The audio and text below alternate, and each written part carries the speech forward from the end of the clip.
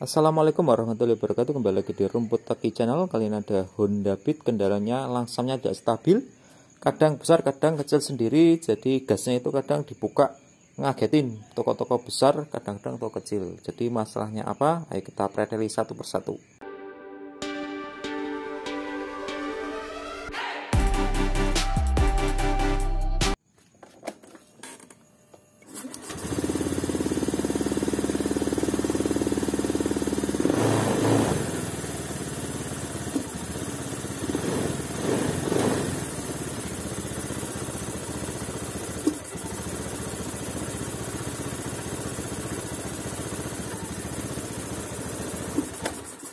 jadi masalahnya itu stabilnya gas itu tidak bisa terkendali besar kecil kadang mati dan pula kadang itu besar sendiri. Jadi masalahnya juga kompleks ini ya.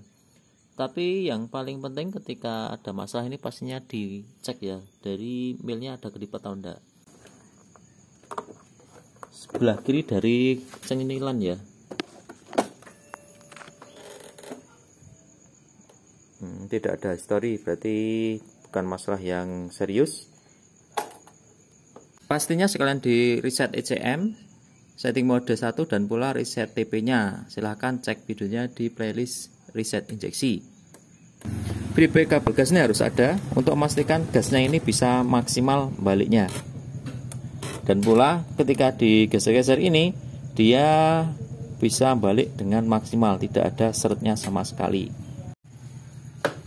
Free nya ada Apabila main gasnya tidak ada, maka silakan setel di bagian ini. Pakai kunci pas 10. ACV ini berfungsi sebagai cuk otomatis yang bekerja pada pagi hari. Mesin dingin dia stasioner agak besar. Yang bermasalah nanti ketika panas ini juga besar sendiri karena pernya di dalamnya ini sudah kendor. Tetapi sebelum kita masuk ke dalamnya dari keterangan pelanggannya ini kan seling gas sendiri. Tapi kalau saya perhatikan ada masalah juga di gasnya itu nggak bisa stabil. Kita coba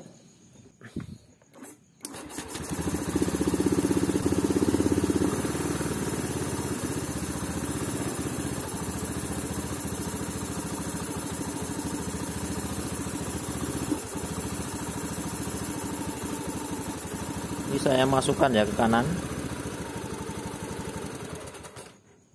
Jika dimentokkan ini mati itu sebagai tanda pula jika setelannya throttle valve yang sini ini adalah bukan tutup awal throttle valve-nya itu tidak pernah di setel atau masih standar jadi aman. Ada yang jika setelan anginnya ini dimentokkan tuh kok nggak mati itu berarti ini pernah diubah atau ada kebocoran di sini itu bikin stasionernya tidak stabil. Jadi sebaiknya kalau baut ini itu jangan dipindah-pindah. Nah, untuk nyetelnya sendiri baut ini itu sebenarnya mudah ya. Asalkan ketika ini dimentokkan itu dia mati, kemudian nanti ketika disetel satu, dua, tiga, empat, dua setengah putaran standarnya itu harus dicari stasioner yang pas atau sekitar di 1700 rpm itu pasti setelah ini pas. Nah ini kita coba harusnya ini standar ya putaran mesinnya. Kalau enggak berarti ada masalah lain lagi.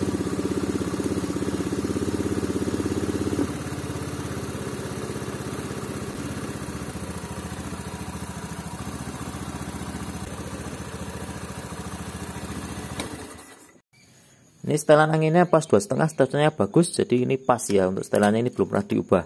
Nah, beda lagi tadi, ini tadi saya cek itu putarannya itu agak jauh ke belakang kita coba lagi ya stasionernya apakah dia berubah?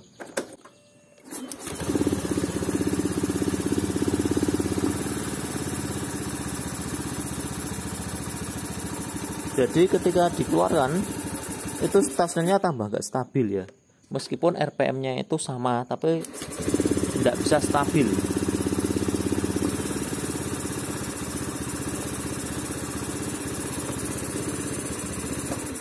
hal ini terjadi karena terlalu banyak angin yang masuk lewat sini. Jadi kalau untuk setelan angin ini juga berpengaruh pada setelan yang tidak stabil di mana setelan angin ini jika semakin masuk dia itu semakin stabil tetapi semakin kecil. Jadi untuk pasnya itu kita ambil di dua setengah putaran.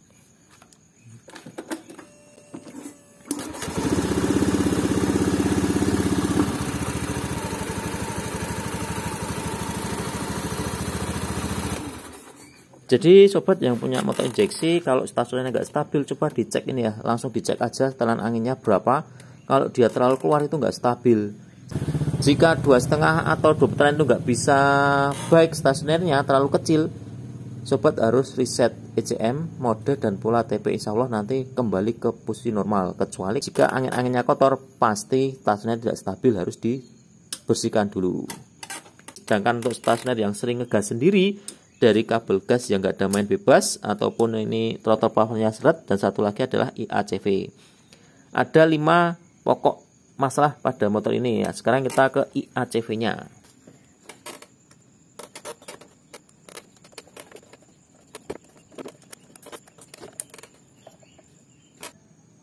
sepertinya mudah dibuka ya tapi ternyata ini sebenarnya sudah saya ketrik bagian luarnya biar kendor karena ini ada trik rodnya kemudian untuk IACV nya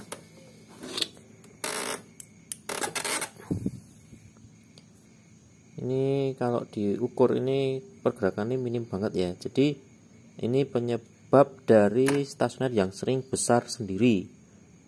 Karena pernya ini sudah lemah. Jadi untuk solusinya pernya ini sedikit diulur. Sampai segini ya Nah, seperti ini. Paling tidak itu sekitar 5 mili naiknya. Pastikan untuk slotnya ini bisa neken maksimal jika nutup udaranya. Selama soketnya ini dilepas tapi tidak dikunci kontakon masih aman tanpa di reset. Pastikan ornya sudah terpasang dan dipasang. Nah, kalau dipasang itu dia mau neken ini berarti bekerja bakal normal. Kalau kalau dia dipasang kok langsung nempel nggak ada tekanannya berarti itu masih kendor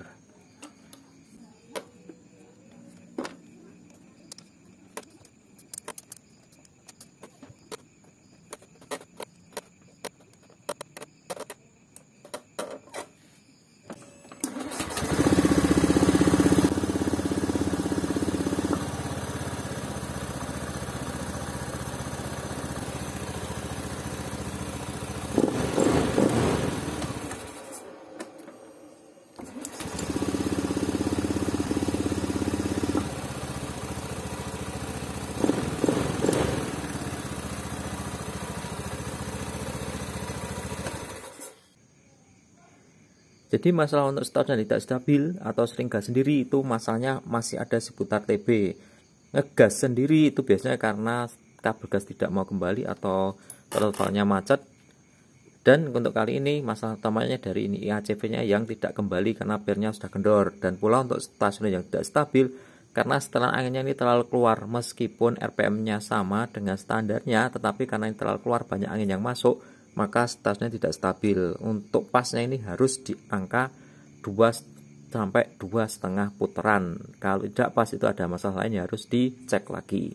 Sesuai dengan urutan tadi pengecekan dari awal. Semoga bermanfaat. Rumput channel mantap